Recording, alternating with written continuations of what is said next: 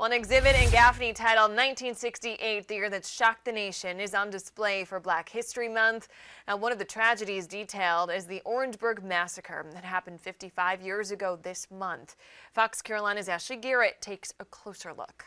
They wanted to go bold, and they wasn't allowed to because it was a white-only premises. Students at South Carolina State held a protest on campus soon after chaos. Shooting in the crowd and killed uh, two state students and one local high school student. The victims, Henry Smith, Samuel Hammond Jr., and Delano Middleton, all shot and killed by South Carolina highway patrolmen.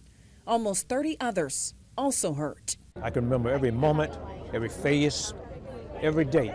Cecil Williams capturing these photos at the bowling alley just moments before the tragedy. I can remember being so afraid.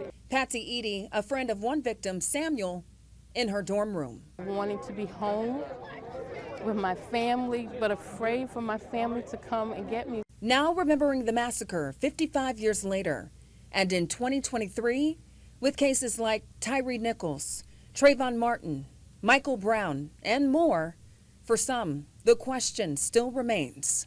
The question is still there, how far have we come? You know, it almost seems like we're, we're taking steps forward, but we're taking steps backward. One way to progress, showing kids the way. If we don't do what we need to do to help them, how are they going to lead when we're no longer leaders? So education is the key. Ashley Garrett, Fox Carolina News. Well, you too can honor their memory by going to the Black History exhibit in Gaffney at the old post office that runs until March 3rd.